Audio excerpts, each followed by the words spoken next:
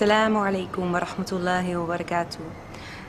My name is Anna Dijk and I'm Mustada from the Netherlands. And the reason that I came to Islam, well, actually there's not just one reason. There are several reasons. And I did my bachelor religious studies and uh, I'm a researcher actually, so I learned everything I could about all the religions. And then to me, Islam, it was the logical next step and I was raised a Christian and I had so many questions and they weren't answered. My father actually is a preacher man and we talked a lot about religion but um, I believed in God but there was something missing, missing link and to me Islam it was like um, the intellectual missing link um, and at this moment I wasn't missing it anymore because I found it. And after my first years of studies, I became Muslim, alhamdulillah. And um, well, what was the actual reason? I think the biggest reason to me was Tawheed. It was the absolute unity of God, subhanahu wa ta'ala.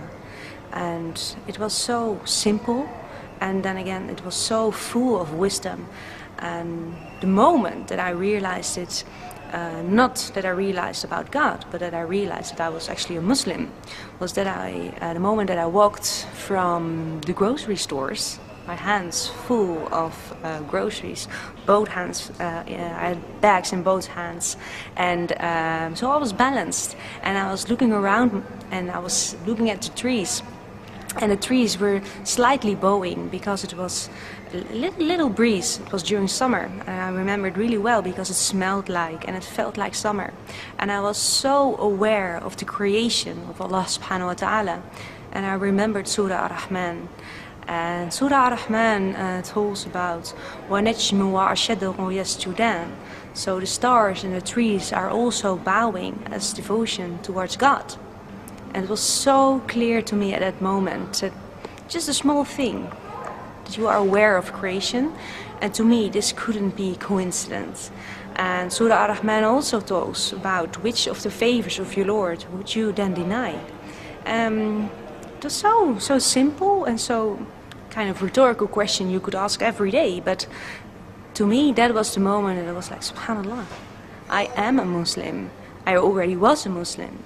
So that moment was the moment that I was honest to myself about the fact that I was Muslim. So actually, the Shahada I did at that moment was a Shahada to myself. And Alhamdulillah, the day is now eight years ago. And uh, we will always learn about Islam more and more and more. And uh, I think that to me is also the beauty of Islam. You are never finished there is always something else to learn. And I'm very curious. I'm a researcher, so I'm very